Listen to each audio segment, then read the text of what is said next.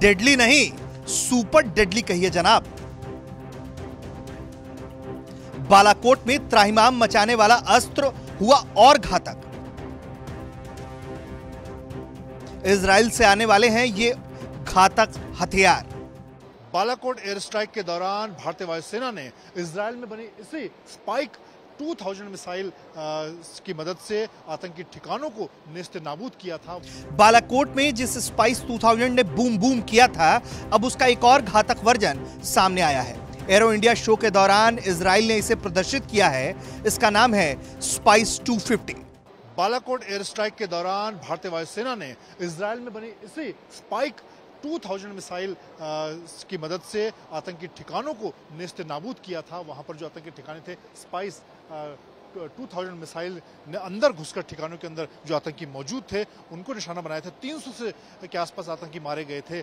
और अब भारतीय वायुसेना के बेड़े में आने वाले दिनों में एक और स्पाइस 250 एक नया वर्जन है, उससे ज़्यादा मारक क्षमता की मिसाइल शामिल होने जा रही है। एयर इंडिया शो के दौरान आज ही इसराइल ने इसको यहाँ पर लॉन्च किया। हम आपको इसकी एक्सक्लूसिव तस्वीरें दिखा रहे हैं। ये इस मिसाइल की अगर मारक क्षमता की हम बात करें तो ये 80 से 100 किलोमीटर हवा से ज़मीन, यानी कि एयरक्राफ्ट से ज़मीन पर मार करेगी और दुश्मन के किसी भी मज़बूत से मज़बूत बंकर को ये आसानी से भेज सकेगी। काफ़ी इसकी मारक क्षमता है और इस वक्त खासतौर से मिसाइल के क्षेत्र में पाकिस्तान और चीन सरहद पर जिस तरह के हालात हैं, हाल के दिनों में भारतीय वायुसेना ने इमरजेंसी खरीद के तहत खासतौर से स्पाइस मिसाइल बड़ी संख्या में खरीदी है। इसराइल के तर्कश में एक से बढ़कर एक तीर है। अब हम आपको इसराइल का एक और हथियार दिखाते हैं जिसे देखकर आप कह सकते हैं कि देखन में छोटन लागे घाव करे गंभीर। ये हथियार भी भारत के बेड़े में शामिल होने वाला है। अब हम आपको दिखाते हैं इसराइल में बनी हुई एंटी टैंक मिसाइल जो कि दुश्मन की किसी भी टैंक को आसानी से नस्त नाबूद कर सकती हैं। ये इसकी अलग अलग रेंज है। ख़ासतौर से अगर पाँच साढ़े पाँच किलोमीटर तक मार करनी हो तो Spike L two L R two missile इसमें काम कर सकती है।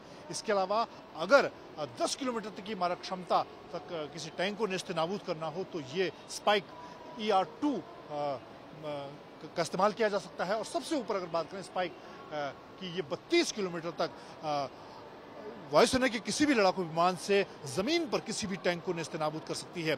हाल के दिनों में खासतौर से जब सरहद पर चीन और पाकिस्तान के साथ लगातार तनाव है, खासतौर से चीन के साथ तनाव है, भारतीय भारतीय सेना थल सेना और वायुसेना दोनों ही इसराइल से एंटी टैंक मिसाइल और इसके अलावा जो स्पाइक 2000 मिसाइल और बम हैं, काफ़ी बड़ी संख्या में इमरजेंसी खरीद के तहत खरीदे गए हैं। और ये ये हथियार काफ़ी कारगर हैं, दुश्मन के खिलाफ किसी भी दुश्मन के बंकर को, दुश्मन के किसी भी ठिकाने को ये बर्बाद कर सकते हैं। वहीं भारत इसराइल से कुछ और घातक मिसाइलें भी हासिल कर रहा है। इन मिसाइलों की खासियत तो हम आपको बताएँगे ही लेकिन आप आसान भाषा में इसकी ताकत समझना चाहते हैं तो फिर आप इसे तबाही का दूसरा नाम ही समझिए। सरहद पर चीन और पाकिस्तान के साथ लगातार बढ़ते तनाव को देखते हुए भारतीय सेनाओं को आधुनिक मिसाइलों से लैस किया जा रहा है, खासतौर से ऐसी घातक मिसाइल जो आसमान से ज़मीन और ज़मीन से ज़मीन, दुश्मन के किसी भी ठिकाने को नेस्त नाबूद कर सकें। बालाकोट एयर स्ट्राइक के दौरान जिस तरह से भारतीय वायुसेना के लड़ाकू विमानों ने स्पाइस 2000 मिसाइल के ज़रिए आतंकी ठिकानों को बर्बाद किया। अब इसराइल से हम एक और घातक मिसाइल आपको दिखा रहे हैं, रैमपेज, जो हवा से ज़मीन में मार करने वाली एक घातक मिसाइल है। 100 किलोमीटर की इसकी रेंज है और ये दुश्मन के किसी भी मज़बूत ठिकाने को आसानी से नस्ते नाबूद कर सकती है। आने वाले दिनों में भारतीय वायुसेना इमरजेंसी खरीद के तहत ऐसी रैमपेज मिसाइल खरीदने जा रही है। इस वक्त एयर इंडिया शो के दौरान इसराइल की कंपनियाँ अपनी जो घातक मिसाइल है उनका प्रदर्शन यहाँ पर कर रही हैं।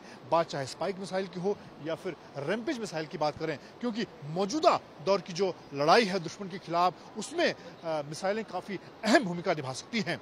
कैमरामैन सत्य के साथ मंजित नेगी, बेंगलुरु, आज तक।